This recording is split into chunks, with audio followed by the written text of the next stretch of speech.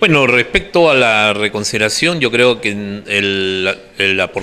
peticionante de la vacancia no ha aportado ninguna prueba que pueda determinar de alguna manera que los regidores cambien su, su voto.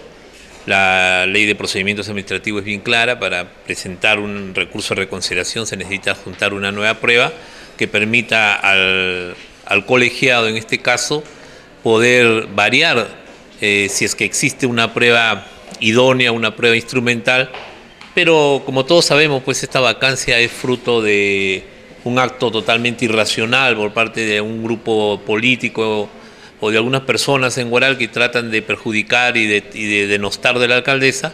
pero nosotros estamos convencidos que el día de mañana el, Consejo en pleno va a rechazar por unanimidad este petitorio eh, en función de que el fiscal superior ya ha archivado la denuncia de manera eh, definitiva. Ya el recurso de queja ha sido resuelto por la Fiscalía Superior, tanto a nivel de la, de la Fiscalía del Anticorrupción como el Fiscal Superior de Huacho, han señalado que no existe ningún elemento, ningún indicio, ninguna prueba que determine la responsabilidad de la señora Aurora Kobayashi en el delito de patrocinio ilegal o en el delito de colusión. Y ha señalado, con muy buen criterio fiscal superior,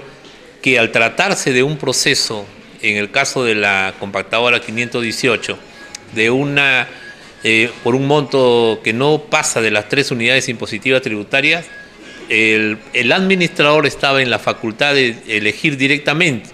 de tal manera que no se encuentra dentro de lo que es la ley de contrataciones del Estado y por, eh, ende no había ningún tipo de eh, aprovechamiento indebido del cargo o colusión respecto a este tema. Es un tema que ya la Fiscalía lo ha, dejado zanjado, hay una disposición fiscal que archive el caso, de tal manera que de tanto el Consejo como el Jurado Nacional eh, van a, en última instancia el jurado va a señalar pues de que no se dan los presupuestos procesales para que la alcaldesa haya incurrido en la inobservancia del artículo 63 de la Ley Orgánica de Municipalidades, es decir, que haya incurrido en la causal de restricciones de contrato. Sí, yo espero que los regidores Armando Bravo, el regidor Reyes, el regidor Quintana y la regidora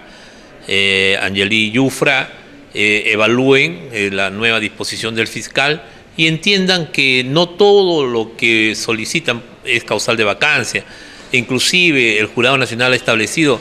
que pueden ser hechos muy reprochables, conductas a veces antiéticas, pero de acuerdo al principio de legalidad, la causal debe estar eh, debidamente establecida, debe estar debidamente tipificada y la conducta del alcalde o del regidor debe estar enmarcada dentro de lo que es el tipo, eh, en este caso del artículo 63 de la ley de contrataciones y por lo tanto, si no se da esto, no hay vacancia por más que el acto nos parezca totalmente reprochable.